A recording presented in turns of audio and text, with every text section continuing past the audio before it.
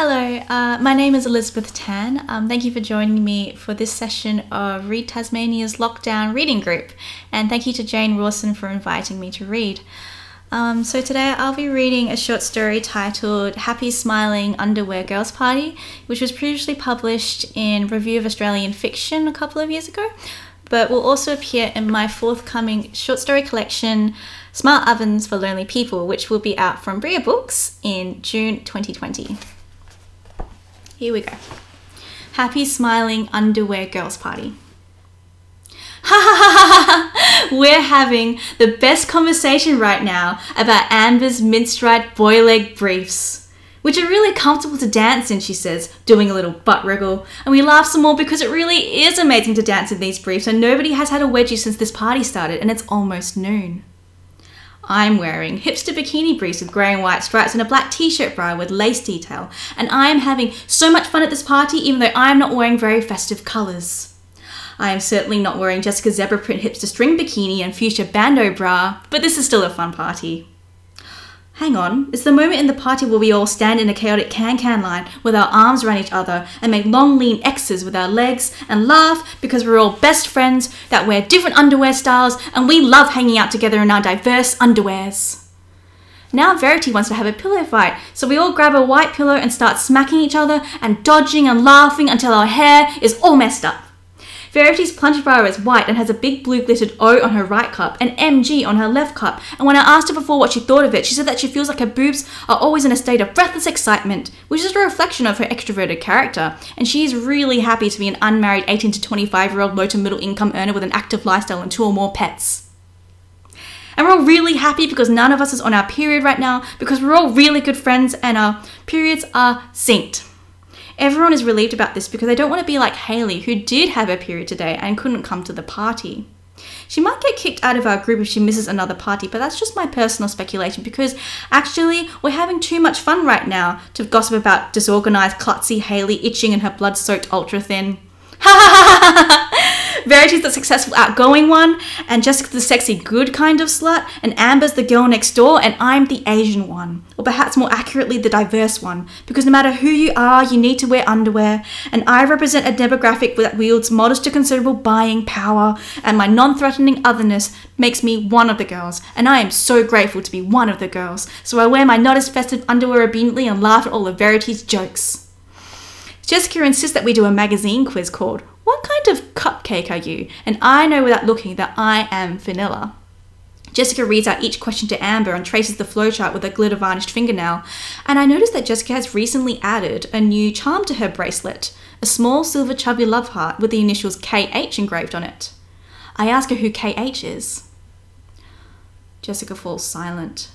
There's a chill in the room that wasn't there before, as if one of us has done something unthinkable, like taken a shit or something. Jessica hitches up her bandeau bra, which has become lopsided in this long, terrible moment. And then Jessica smiles and says, Wouldn't you like to know? and winks saucily. And we all laugh and everything's okay again. And Amber is a red velvet cupcake. And Verity initiates a new round of pillow fighting. And we are all grateful. We are so fucking grateful. Later, over Kaylin Ginger mocktails. Amber tells me the difference between a balconette bra and a push-up bra, which is fascinating.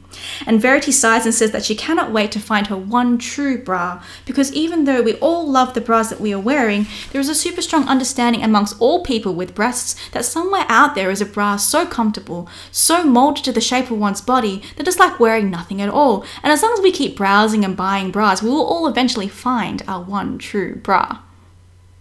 Jessica insists that we do a magazine quiz called What Kind of Salad Dressing Are You? And I know without looking that I'm vinaigrette. I know it's Jessica's KH love heart again, and it nags me like a twisted brass trap, but I will not mention the KH love heart again. Instead, I turned to Verity and asked to see the latest photos of her pom terrier, and soon we're all cooing over a phone slideshow of the perky little thing. Some of the photographs contain Verity herself, dressed in a navy blue polka dot halter neck bikini as she cuddles the dog while reclining in a sun chair. And I wonder, who took the photographs because they can't all possibly be selfies? Verity snaps her phone case shut before I can scrutinize the photographs too closely and announces that it's time to eat. She passes around a platter piled high with glistening strawberries with their leaves still on, and we each place a strawberry in our mouths and hold it there between our puckered lips like it's not sexual or anything. I don't even know the name of Verity's dog. Jessica insists that we do a magazine quiz called What Does Your Vaginal Discharge Say About You? And I know that mine says, You're a shy, bland virgin. How's waiting for the right one been working out for you? Verity hotly denies that she even produces observable vaginal discharge, and Amber says that she uses Libra panty liners to keep her underwear fresh, and Verity has a look in her eye like she's taking mental notes. On the page after the vaginal discharge quiz is an interview with Kit Harington from Game of Thrones, and we all sigh and wish we could be Rose Leslie as Kit Harington's on screen love interest and Rose Leslie as Kit Harington's real life sweetheart. On the opposite page the interview is a tear out black and white poster of Kit Harington's tousled curls, and Kit Harington's soulful chocolate stare, and Kit Harington's white button down shirt that foretells the hard muscular terrain of Kit Harington's abs. And as I am falling into the smiling shadows beneath Kit Harington's eyes, I realize that Kit Harington's initials are KH. I stop falling and I bite my lip because I know I can't say anything. I just can't say anything. I will not survive if I say anything. I will never be allowed at another underwear party again. So I stare at Kit Harington, overcome by desire, aching with the certainty that Kit Harington would never love me because when I did the What Kind of Man Could Possibly Want You quiz, I got steady, bookish, nice guy, and Kit Harington seems more like a brooding overthinker dedicated to his craft. But then I notice Amber's eye drawn to the interview and the abbreviation KH for each of Kit Harington's answers. Jessica, she exclaims, do you love Kit Harington? At first, Jessica deflects. Of course, we all love him. But then Amber takes Jessica's wrist in her hand and overturns the silver love heart so that the KH is exposed. No, you really love him, Amber says. Jessica sits there frozen and uncomfortable as if one of us has done something unthinkable, like farted or something. And Jessica withdraws her wrist from Amber's grasp. And I know then, absolutely, that Jessica doesn't actually know what KH stands for, just like Verity's dog doesn't have a name. And the whole afternoon begins to crumble. And I am spurred by a determination that I can hardly understand to save Jessica, to save all of us. So I announce I know. I know what KH stands for.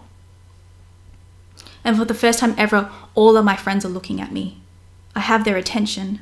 My face turns pink and I flounder, and I can feel the seat of my briefs creeping up perilously close to my ass crack. I blurt out, KH stands for Kitty Hellcat, which is Jessica's secret crime fighting alter ego. Everyone is silent. The party teeters, knife edged. Jessica is staring at me. And slowly, she smirks. How did you know I was Kitty Hellcat? Jessica asks. And I say, Because I'm a witch. And a thrilling regal warmth unrolls through my body, and I draw myself up to my full height, and I say it again I am a witch! Jessica springs to her feet and says, I want to join you. Jessica and I stand up on the bed high above everybody else and shriek with laughter, and Amber shouts, I am the queen of all the spiders, and Verity shouts, I am a malevolent self-learning operating system.